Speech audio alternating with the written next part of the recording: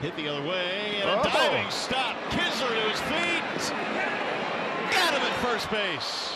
What a play by Ian.